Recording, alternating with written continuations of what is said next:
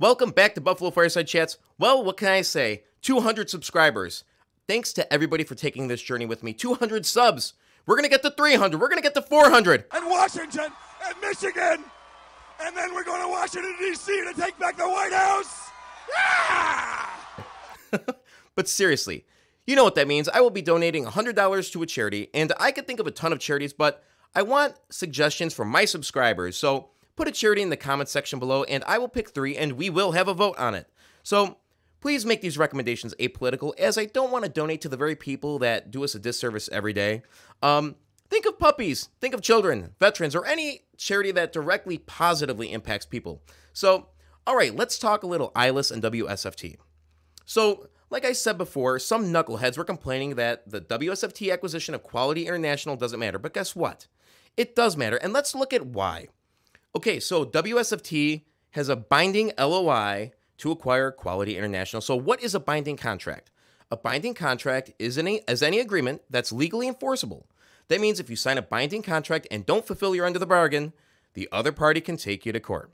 So, to make a contract binding, it needs to include several key elements. Let's take a look here offer and acceptance. One party needs to offer something, such as money, services, rights, etc., and the other party needs to accept the offer. Consideration the benefit that both parties receive. This can be money, services, items, or anything of value. Mutuality or intention the understanding that both parties expect to be bound by the contract and to fulfill their end of the bargain. Legality. The contract has to obey all federal, state, and local laws. You can't make a contract for something illegal. And capacity. All parties are legally able to sign the contract. For example, a person's age and health might make them ineligible to legally sign a contract. So, if a contract contains all these elements, it can be considered binding and legally enforceable. So, what is a non binding contract? All right, a non binding contract is any contract that's either missing one of the elements required to be binding or includes non binding language such as, this contract is non binding. All right, non binding contracts are typically used when two parties want to put down preliminary discussions on paper to make sure they're on the same page, but don't want to explicitly agree to anything. All right, so there you have it. All right. So, guys, remember, this is a binding LOI, which has legal consequences. The binding requirements of a letter of intent are significant and may have legal ramifications if violated. The legal repercussions may bind the parties indefinitely to the agreement. This is owing to the document's constitutional enforceability in court.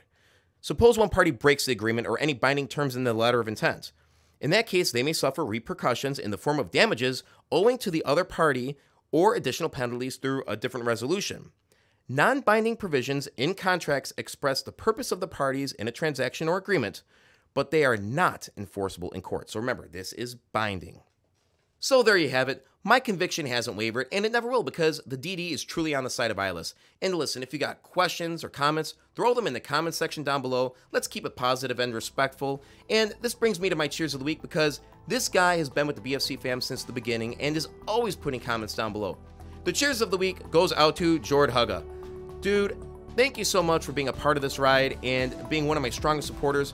I look forward to having you back on the show so you could share more of your passion with the BFC community. Cheers to Jordhuga. Mm, a good old freedom beer. All right. Listen, that's it, gang. Please like, share, and subscribe. And remember, there is more that binds us than breaks us. Peace out.